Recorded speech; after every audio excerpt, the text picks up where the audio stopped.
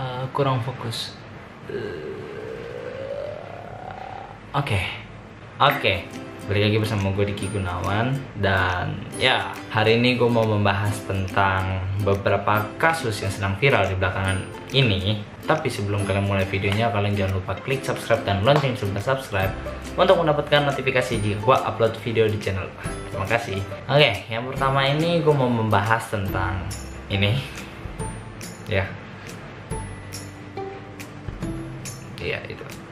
Ada ya, kenapa gitu? Ini ibu men, ibu yang melahirkan lu, yang membesarkan lu, yang mendidik lu dari kecil. Bagaimana lu cara bertata kerama, bagaimana cara lu makan, minum, berjalan, dia menyusui lu juga agar lu bisa tumbuh dengan baik dan menjadi orang yang pintar. Tapi kenapa ada orang yang seperti ini kurang ajar sama ibunya. Ya dia lupa kali yang lahirin dia siapa. Dikira dia lahir dari bapaknya kali. Ya kalau itu bapaknya pun juga nggak boleh lah dia melakukan hal yang seperti itu. Ini orang tua lu men. Bukan teman lu bukan musuh lu bukan siapa-siapa lu. Kalau teman lu juga nggak boleh lah nggak sopan namanya. Kenapa lu harus nendang sekencang itu?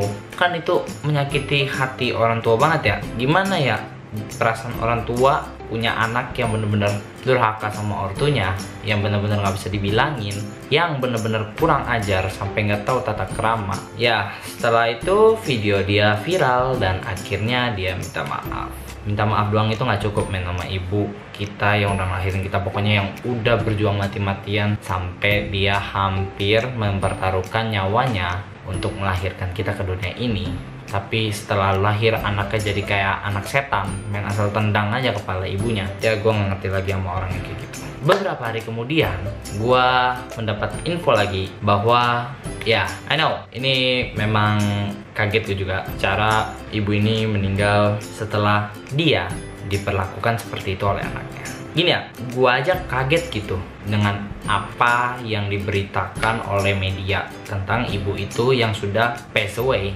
Bagaimana dengan anaknya yang udah durhaka, yang udah nendang kepala ibunya? Gue satu ibu bakal nunggu di surga. Lu awas ketemu di surga, gue bacok lu surga. Ya gimana ya? Ya I know meninggalnya memang bukan karena anaknya. Meninggalnya memang karena penyakit jantung dan paru-paru. Nggak tahu itu mungkin udah nggak bisa disembuhin atau gimana. Oke dia meninggal gara-gara itu penyakitnya udah parah banget dan ya pass away.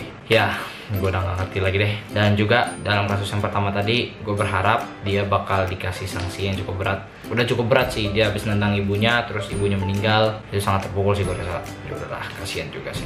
Jangan kasih sanksi terlalu berat lah ya setidaknya beri dia pelajaran agar dia tidak melakukan hal yang sama kepada ibunya ke orang lain.